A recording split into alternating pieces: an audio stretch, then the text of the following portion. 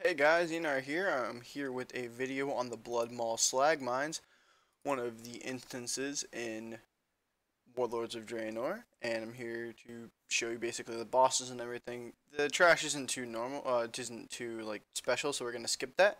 Alright, I'll see you at the first boss. Alright guys, the first boss is Magmolatus. First you have to kill the Forge Master, Gugda, and he uh, brings out two elementals, an earth and fire elemental while the elementals are alive, uh, while he's alive, and you have to kill the elementals. You have to interrupt the Calamity's firestorm to prevent heavy damage, and while Mag is active, you have to kill the elementals. So you, know, don't overwhelm you and fuck you and your healer. That would not be such great.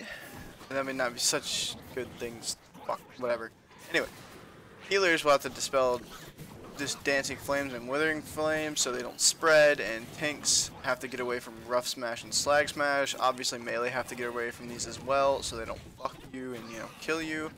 Obviously that wouldn't be so great because they do high damage and they stun players. So that's basically all there is to this fight. It's not really that hard but you know it can be hard if you're not coordinated. Alright guys I'll see you on the next fight Alright, we're at the good old Slave Watcher Crushto.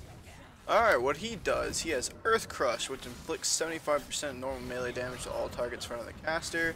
This is like a uh, stalag, slag type thing that he kicks and it breaks and all that.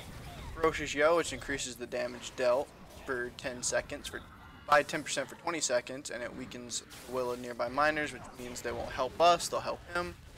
Uh, this can be interrupted and should be interrupted by all of the DPS and the tank when possible. He also has Wild Slam, which crushes the ground, doing a shit ton of damage to all enemies and knocking them back. Well, not a shit ton, it does a decent amount of damage and knocks them back. And he has Crushing Leap, he leaps to enemies and smashes them. And captured miners will focus the smashed target. And he has Raise the Miners, which he calls miners to assist in battle.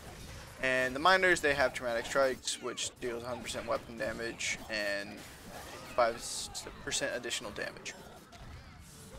So basically, the damage dealers, they need to interrupt and kill the hostile enslaved miners, and the healers need to heal, obviously heal, and they need to heal the friendly miners, and the tanks will interrupt, and that's about it. Alright, I will see you guys at the third boss.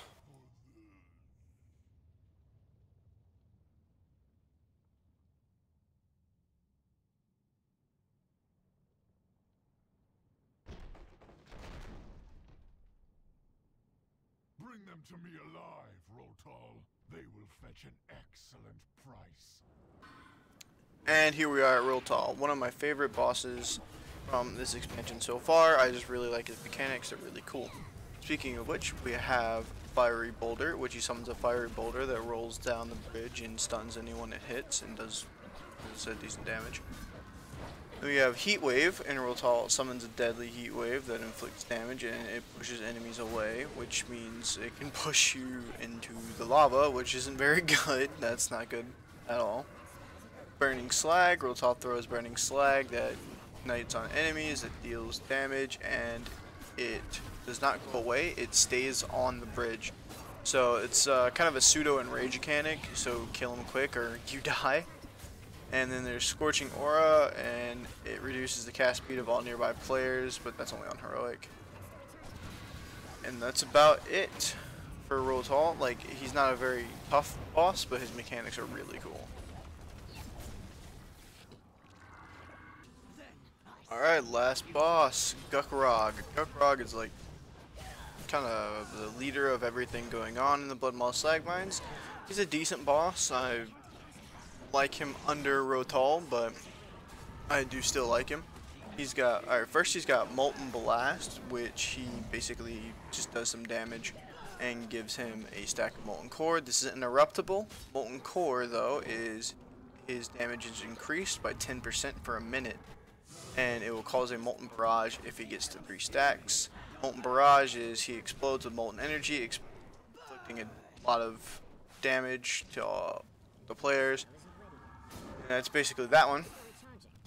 And magma eruption. He summons pools of magma at every player's location for two minutes, which is a like just God. I, like you have to kite him and just a lot of stuff on the ground.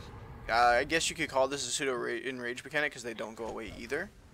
So, and then he has summon unstable slag, which he summons an unstable slag elemental. What they do is they siphon flames from a kiln, which is like a furnace thing. Unleashing a torrent of fire every two seconds, and it does a decent amount to two players. And once they reach the kiln, they become empowered, dealing 9,000 every three seconds, which is a lot. And Flame Buffet, he ignites all players in, in doing a lot of damage, increasing their firebrand damage taken for 20 seconds. That is him, and that's the Bloodmaul Slagmines. Thanks guys for watching. Hope you have a great day. Do all the like, subscribe shit if you want. If not, well, that sucks. Alright, later guys.